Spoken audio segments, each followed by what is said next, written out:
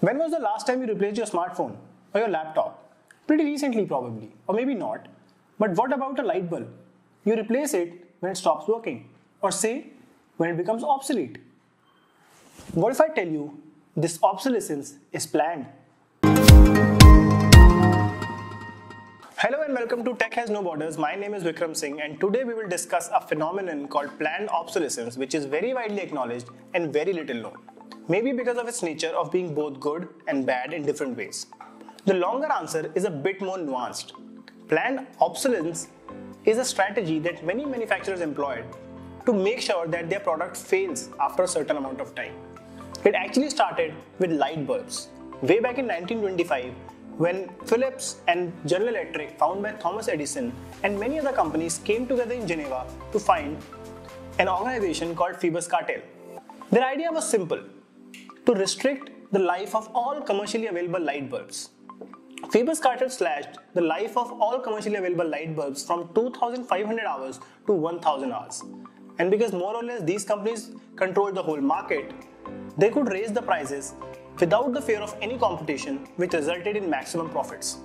Non-removable batteries in smartphones and laptops was a smooth slip in by the companies in our lives, and it changed the way we use these technologies.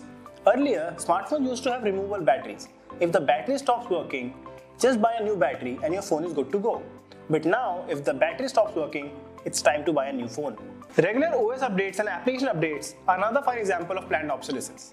These regular updates comes heavy on storage, resulting in slow processing of the device. And in no time, we find ourselves stranded and in need of better processing and storage units.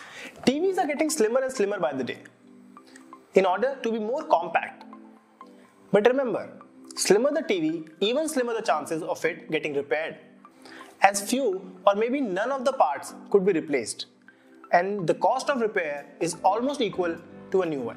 Obsolescence has diversified over the years. It's not just due to the company's involvement, it's also our own mindset. Have you ever wondered how the companies generate repeat sales of luxury items? Easy. They prey on our rapid consumer behavior. You don't have an iPhone? What are you, a caveman? You're still riding 2014 model car. Is this thing still running? Your TV is not 4K HDR. How can you stand watching that?